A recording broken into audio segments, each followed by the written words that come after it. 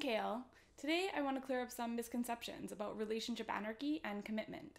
I've had some people say to me, I couldn't handle relationship anarchy, I need commitment. It seems that since a lot of people associate relationship anarchy with chaos, they also assume that to be a relationship anarchist means to not have any commitments. My question is, what does commitment look like? Maybe to monogamous folks, it involves a relationship escalator date, move in, marry, have kids. They believe if you're not committed to all or at least some of these things, you're not really committed at all. We already know that's not the likely path an RA will take. So does that mean relationship anarchists don't commit at all? Just because a commitment doesn't look like how it would in a monogamous relationship doesn't make it less real or important. An RA relationship will set its own tone and the people involved will form their own type of commitments together. How we practice commitments as a relationship anarchist is important. You can practice relationship anarchy without having spent your whole life as an anarchist, but some of the politics are integral to how we perform RA.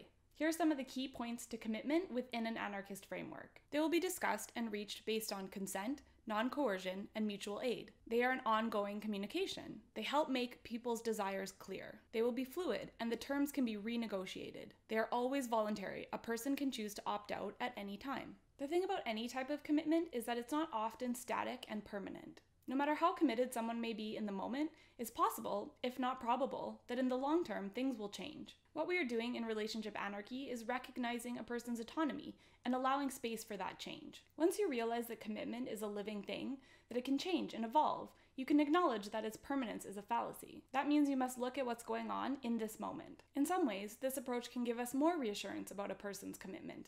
Every day they show up, they're reaffirming that they want to be there. If someone can opt out at any moment and they still choose to be there, that's a powerful sign of being committed. So, can a relationship anarchist commit? Of course they can. They do it intentionally, deliberately, and with careful thought. They might recognize that not every commitment is from now until the day they die, but if they're there, it means they fully and completely want to be.